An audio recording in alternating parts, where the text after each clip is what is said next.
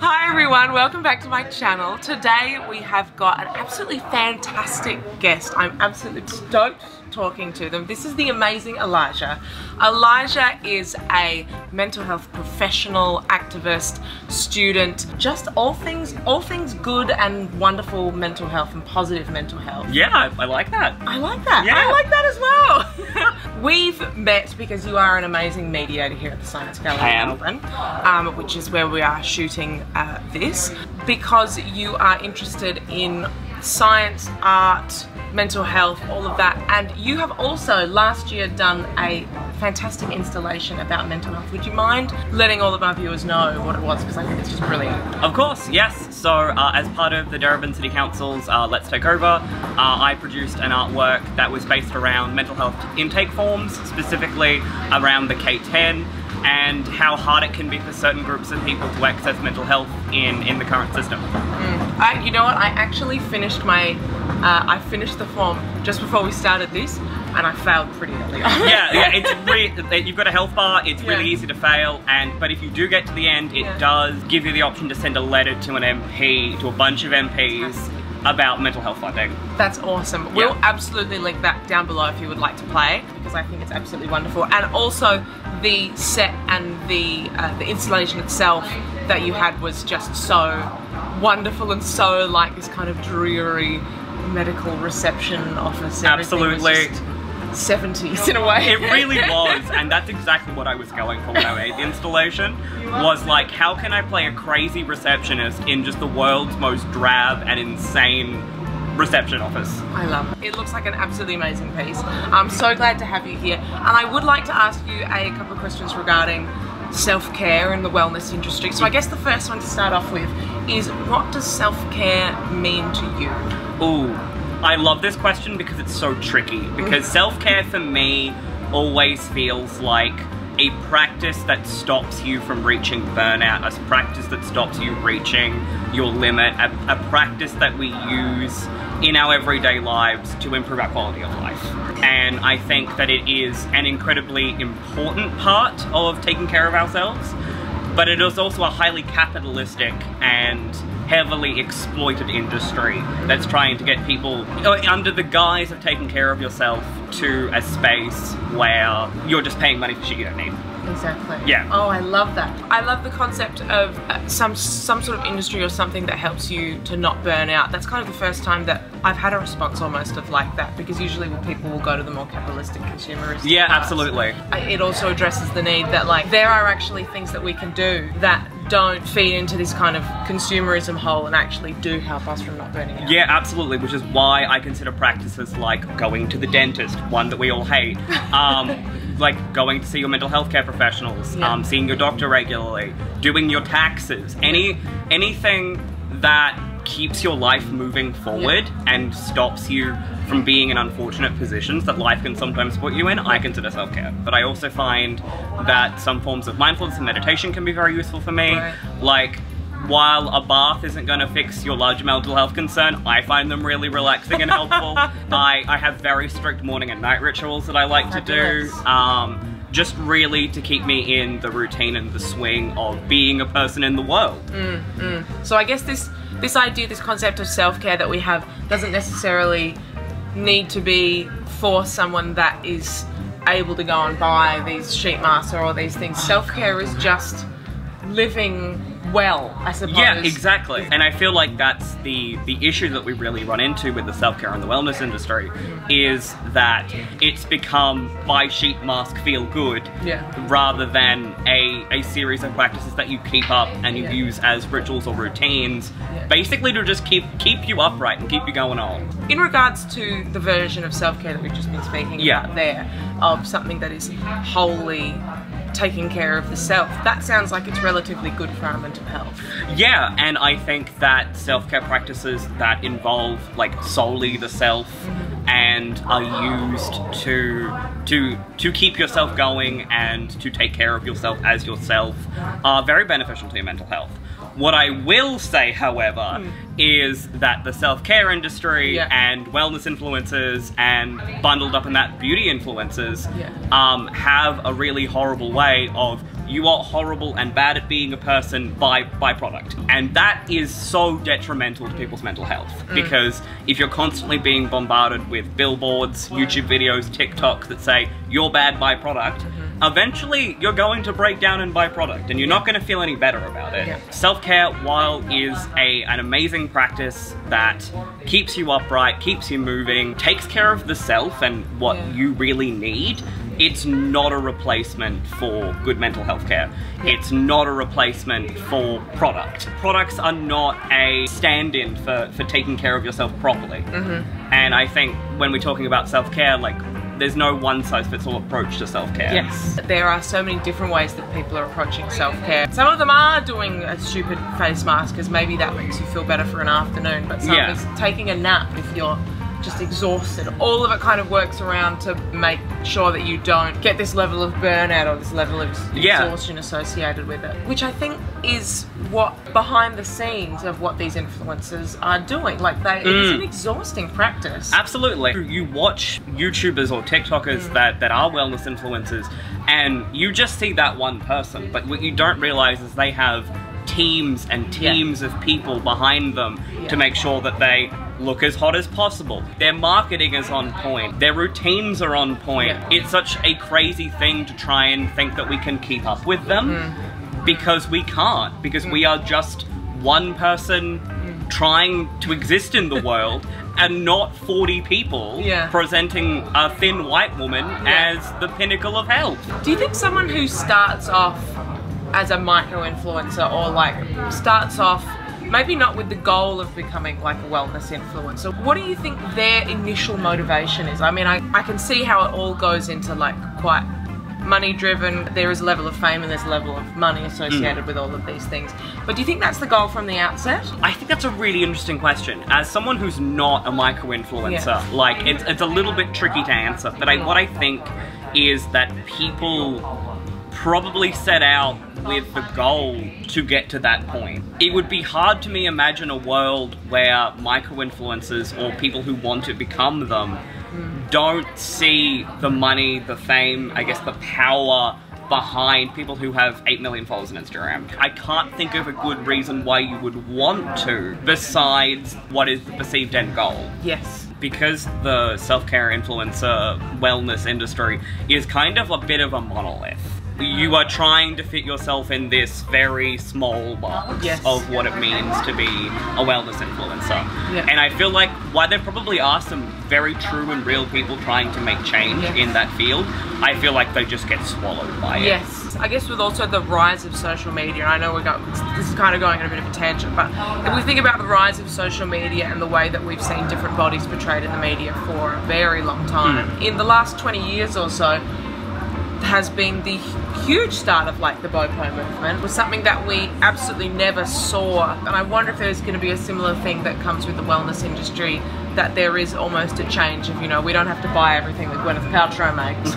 We could just go to the dentist and that's self you know. Yeah, absolutely. and that's self-care and we can still document that but it's in less of a performative way and less of a consumerist money making way Yeah, I- and I think that that is a change that very much might happen in the next like 10, 20 years. We Yeah. can we can certainly cross our fingers for that. Um, I do just want to say briefly on the body positivity Yes. movement. It was a really interesting movement from the start because it was moving towards like embracing different bodies as as being you know good and okay and sometimes even desirable. Mm. And then I feel like in the last like few years and especially on Instagram really Yes. really springs out to me the idea that the body positivity kind of moved moved into the the fuckable movement. All bodies are good because they're all sexually attractive. Yes. Rather than all bodies are good because all bodies are good. Yeah, all bodies are good because they are our Because- bodies and they sustain us. Yes, exactly. The counter movement to that, the body neutrality movement, Yes. is is Mhm. really really important because that's talking about well, we don't actually have to love our bodies. We just need to know that they are our homes Mm. and we need to take care of them. Self care and self care practices, especially in the way that the industry views them, are not a replacement for proper mental health support because one in four Australians. Um, have lived experience mm. of a mental illness, and that can range from very mild depression to extreme psychosis. Yeah. As someone with lived, with lived experience of mental illness, I can assure you that it is not enough. You need to talk to someone, you need to see someone, whether that is a psychologist, a counselor, a psychiatrist, whatever you need mm. for your treatment needs is going to help you more if there is a larger scale event than just I'm a bit tired from work. Yeah. And I think it's really important that we tell people if they're struggling to go to therapy, we do encourage them to talk about their GPs because that's what saves lives. Mm-hmm. You know, self care, as amazing a practice it is, will not save lives. Yeah. Therapy and good mental health support does. And with so many suicides every year, and especially over the course of the last few years, Yeah. it is really important that we encourage the people in our communities and our friends and colleagues that it is important to seek help when you need it Yeah. and that help needs to be mental health support and not watching wellness influencers on YouTube. How much of the self in self care do we need, and and can we shift that to a communal version of, of self care? Absolutely. And how important is that? And like for me, how much better do I feel when I get to go and see a group of friends? You know, Yeah. during the day. Sure, I'll feel a bit like emotionally kind of exhausted afterwards, but there is that feeling of kind of fullness. really makes me think of Rat Park. I don't know if you've ever heard of it. No. It was an experiment done on a group of rats Yeah. with heroin. Um, in which they would put one rat with a with a dripper full of water and one with a dripper of heroin. Yeah. Um, the rat would always go for the heroin until Wow. they put them in Rat Park, which was a community of many many rats, uh, lots of things to do, lots of things to play with, lots of spaces to be with a community of rats, and they never picked the heroin. Wow. This is a study on rats, Yeah. but I think it really speaks to the kind of community support and mental health support needed by people who do suffer from addictions. I think it's really important to know that sometimes self care is awesome, but sometimes you need community care. As well. Yeah. And I feel like we just didn't have that over the course of the last two years Yeah. like you know you can have a zoom call but i find with zoom calls i just feel how far away they are Yeah. in that Yeah. little, in that little box I think there's that that thing as well of of the Zoom fatigue that a lot of people suffer Yeah. from as well. That was just like, I can't do another Wednesday night games night yeah over Zoom because I'm exhausted by it. It doesn't substitute for the real thing.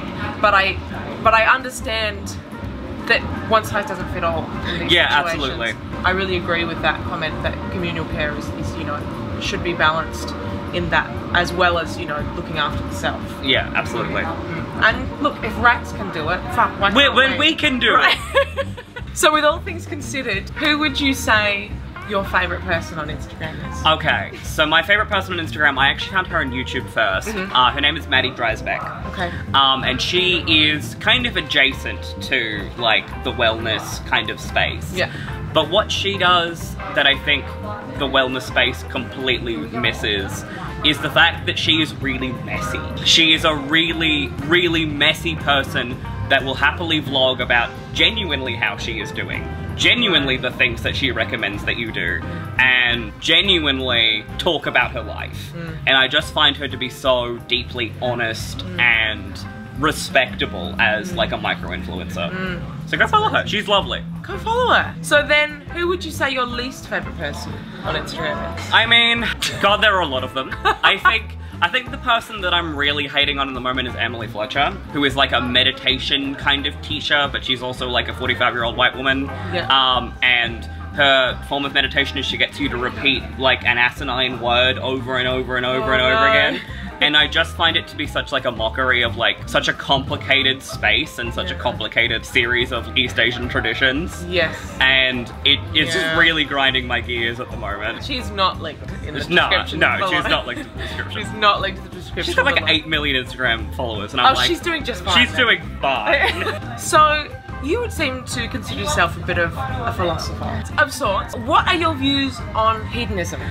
I find hedonism to be a very complicated space, but I will, in in short, I will say that hedonism is a is a wonderful and fun thing to do. It's a wonderful thing to be engaged in, but I do not think it should be the basis of our ethical system or on basis for our systems of government, or any other kind of things. But I do recommend going out and having fun, though. I think that's important. It's a bit sketchy on the, the actual ethicalness and practicalities of using heat in, in like larger structures of life. Yes, and it probably shouldn't be a basis for self-care Probably not.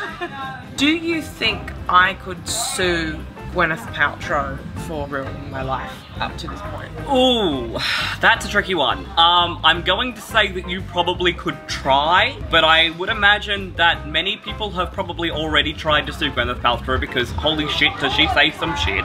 I have strong feelings about Goop. um, I would imagine that she has a team of very, very powerful lawyers. Yes. And unless there was some kind of like large community response, I think it would be difficult, but we should because of the coffee enema alone. You mentioned at the very start of the Mhm. video that your installation, at the end of it when you win, you know, gives you the option to send a letter to a whole bunch of MPs. Yep. So if we can send something in a way that helps alert our MPs about this kind of really destructive nature of this whole industry that's kind of breeding throughout our society, what should we put in a letter to our MPs? You should put in a letter to your MPs that they need to start regulating the industry because the industry is just kind of growing and growing and growing and growing, and as it's doing that, it's getting harder and harder to fight it from like a from like a personal or community perspective because it's becoming quite the monolith. I think that the thing that our that our governments can do and the Consumer Advisory Board can do is regulate the industry. Yeah. So if you want to talk to your MPs or you want to talk to your congressman or wherever or not you're viewing this video, you type up a letter and say that you need the beauty industry and the wellness industry to have stricter regulations on it. And while you're there, also ask for more mental health care funding because Yeah. I know that we only get 10 sessions on of a mental health care plan here in Australia. Yeah. Um, and we got 20 over the pandemic and that should stay. That should stay. Because 10 sessions is not enough for a large scale issue, and therapy is expensive, trust me. We need more funding in the sector, and we need the industry to be regulated so that it is not harming people in the way that it does. Yeah. Put those in your letter. So, in final, do you believe that I have the chance of becoming the most famous wellness influencer by 5 p.m. next Saturday? 5 p.m. next Saturday. It's a week away It's a week away, okay. when we're filming this video. I am. I, I don't want to crush your dreams, Catherine, but I don't think you've got the stocks. I'm sorry. I think there are so ah. many people saturating the market of trying to be the world's most influential wellness influencer, and I feel like while you are a delightful person that I've enjoyed chatting with, you may not hit the stars. also, I don't have a whole team behind me. You also do don't have a whole team behind you, just and also you're far too nice, and far too reasonable, and far too real. You heard it here first. It's not gonna happen. That's probably a good thing, though, to, you know. Yeah, I, I, I think I think for everyone's sake, but especially yours. My sake. Yeah, I think I think probably not. I don't think I'm ready to go into a global platform, um, you know, in a week's time. Probably not. But you know, if you do, you know, I'll eat my hat. Excellent. Uh, that's the next video. Next video. Well, thank you so much, Elijah, for coming and chatting. No worries, I had a wonderful time. It's been, yeah, it's been an absolute pleasure. Thank you for imparting your wisdom. Um, of course, everything that Elijah spoke about will be in those, those descriptions uh, down below, all those people that you recommend, your amazing uh, game, as well as the installation behind that Yeah. game as well. Thank you so much for, for coming and hanging out with me. I really do appreciate it. Yeah, no worries at all. Had a great time. Awesome. I love it. Well, that's all from us. Uh, we'll see you in the next video. Bye.